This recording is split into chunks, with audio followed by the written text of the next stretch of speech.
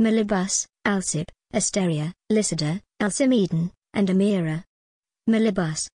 Welcome fair nymphs, most welcome to this shade, distempering heats do now the plains invade but you may sit, from sun securely here, if you an old man's company not fear. Alcip. Most reverend swain, far from us ever be the imputation of such vanity from hill to halt w of the unwearied sort, and bless the chance that us hath hither brought. dot Asteria. Famed Melibus for thy virtuous lays, if thou dost not disdain our female praise, we come to sue thou wouldst to us recite one of thy songs, which gives such high delight to every ear, wherein thou dost dispense sage precepts clothed in flowing eloquence. Lycidas. Fresh garlands we will make for thee each morn, thy reverend head to shade, and to adorn, to cooling springs thy fainting flock we'll guide, all thou commandst treat, to do shall be our pride. Melly.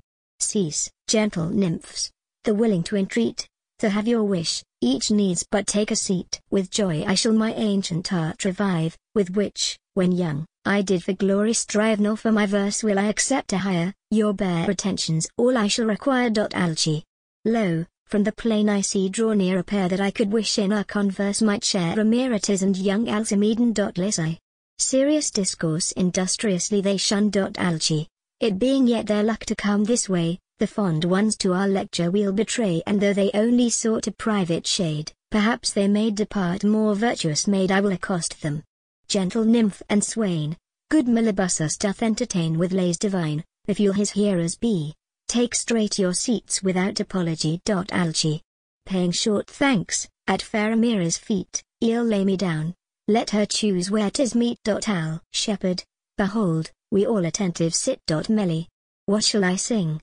What shall my muse rehearse? Love is a theme well suits a pastoral verse, that general error, universal ill, that darling of our weakness and our will, by which though many fall, few hold it shame, smile at the fault, which they would seem to blame. What wonder then, if those with mischief play, it to destruction them doth oft betray, but by experience it is daily found, that love the softer sex does sorest wound, in mind, as well as body, far more weak than men. Therefore to them my song shall speak, advising well, however it succeed but unto all I say, of love take heed so hazardous, because so hard to know on whom they are we do our hearts bestow, how they will use them, or with what regard our faith and high esteem they will reward for few are found, that truly acted be by principles of generosity that when they know a virgin's heart they've gained, and though by many vows and arts obtained will think themselves obliged their faith to hold tempted by friends, by interest, or by gold, expect it not most, love their pastime make, lightly they like, and lightly they forsake. Their roving humour wants but a pretence with oaths and what's most sacred to dispense when unto such a maid has given her heart, and said, Alone my happiness thou art, in thee and in thy truth I place my rest. Her sad surprise how can it be expressed, when all on which she built her joy she finds, vanish, like clouds, dispersed before the winds, herself, who th adored idol wont to be, a poor despised idolater to see. Regardless tears she may profusely spend, unpitied sighs her tender breast may rend but the false image she will ne'er erase, though far unworthy still to hold its place so hard it is, even wiser grown, to take th impression out, which fancy once did make. Believe me nymphs, believe my hoary hairs, truth and experience waits on many years before the eldest of you light beheld, a nymph we had, in beauty all excelled, Rhodanthe called, in whom each grace did shine, could make a mortal maid appear divine. And none could say, where most her charms did lie, in her enchanting tongue, or conquering eye her virtue yet her beauties so outshone, as beauty did the garments she put on among the swains, which here their flocks then fed. Alcander with the highest held his head, the most accomplished was esteemed to be, of comely form, well-gracked activity, the muses too, like him, did none inspire, none so did stop the pipe, or touch the lyre, sweet was his voice, and eloquent his tongue, alike admired when he spoke, or sung. But these so much excelling parts the swain, with imperfections no less great, did stain for proud he was, of an ungoverned will, with love familiar, but a stranger still to faith and constancy, and did his heart, retaining none, exposed to every dart hapless Rhodanthe, the fond rover, court, to whom, for love, with usual arts he sought, which she, art too unwary. did bestow cause true herself, believed that he was so but he, alas, more wavering than the wind, straight broke the chain, she thought so fast did bind, for he no sooner saw her heart was gained, but he as soon the victory disdained, mad love elsewhere, as if 'twere like renown, hearts to subdue, as to take in a town but in the one as manhood does prevail, both truth and manhood in the other fail. And now the nymph, of late so gay and bright, the glory of the plains and the delight, who still in wit and the mirth all pastimes led hung like a withered floor her drooping head I need not tell the grief Rhodanthe found, how all that should assuage, enragged her wound, her form, her fame, her virtue, riches, wit, like death's sad weights upon her soul did sit or else like furies stood before her face, still urging and upbraiding her disgrace, in that the world could yield her no content, but what alone the full Salcandescent. Was said, through just disdain, at last she broke the disingenuous and unworthy yoke but this I know, her passion held long time, constancy, though unhappy, is no crime. Remember when you love, from that same hour your peace you put into your lover's power from that same hour from him you laws receive, and as he shall ordain, you joy, or grieve, hope, fear, laugh, weep, reason aloof does stand, disabled both to act, and to command o cruel fetters. Rather wish to feel, on your soft limbs, the galling weight of steel, rather to bloody wounds oppose your breast no ill, by which the body can be pressed, you will so sensible a torment find, as shackles on your captivated mind.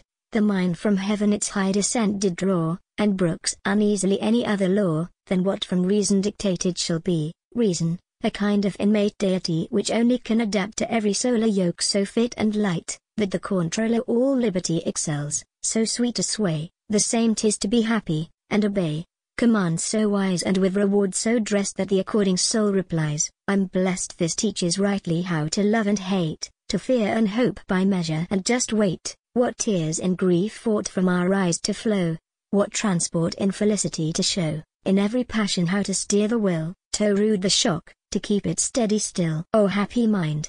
What words, can speak thy bliss, when in a harmony thou movest like this your heart's fair virgins keep smooth as your brow, not the least amorous passion there allow, hold not a parley with what may betray your inward freedom to a foreign sway, and while thus or yourselves you queens remain, unenvied, or the world, let others reign. The highest joy which from dominion flows, is short of what a mind well governed knows. With a mime use, wouldst uncontrolled run, contend in motion with the restless sun. Immortal thou, but I immortal sire exhaust my strength, and here is also tired. Al.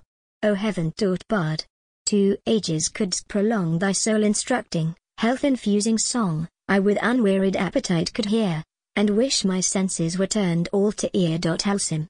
Old man, thy frosty precepts well betray thy blood is cold, and that thy head is grey who past the pleasure love and youth can give, to spoilt in others, now dost only live. Wouldst thou, indeed, if so thou couldst persuade, the fair, whose charms have many lovers made, should feel compassion for no one they wound, but be to all inexorable found. Me. Young man, if my advice thou well hadst weighed, thou wouldst have found, for either sex 'twas made, and would from women's beauty thee no less preserve, than them secure from thy address but let thy youth thy rash reproach excuse. Alci. Fairest Amira let him not abuse thy gentle heart, by his imprinting there his doting maxims but I will not fear for when gainst love he fiercest did inveigh, Methoughts I saw thee turn with scorn away. Ami. Alcimedon according to his will does all my words and looks interpret still but I shall learn at length how to disdain, or at the least more cunningly to feign. Alci. No wonder thou Alcimedon art rude, when with no generous quality ended but hopst by railing words vice to defend, which foulers made, by having such a friend. Amira, thou art warned, wisely beware, Leap not with open eyes into the snare the faith that's given to thee, was given before Tanais, Amrit, and many more the perjured did the gods to witness call, that unto each he was the only thrall. Taste. Why have made his cheeks with conscious blushes glow. Alci. Tis the best color a false heart can show, and well it is with guilt some shame remains. Dot melly, hast, shepherd, hast to cleanse away thy stains, let not thy youth, of time the goodly spring, neglected pass, that nothing forth it bring but noxious weeds, which cultivated might produce such crops, as now would thee delight, and give thee after fame for virtue's fruit believe it. Not alone with age does suit, nor adorns youth like to a noble mind, in thee this union let a mirror find. Lissai. O fear her not. Shall serve him in his kind. Dot Melly see how discourse upon the time does pray, those hours pass swiftest, that we talk away declining soul forsaken hath the fields, and mountains' highest summits only gilders which warns us homewards with our flocks to make. Alchi. Along with thee our thanks and praises take. Dot dest. In which our hearts do all in one unite, Lesai. Our wish is too, that on thy head may light, what e'er the gods as their best gifts bestow. Melly kind nymphs on you may equal blessings flow,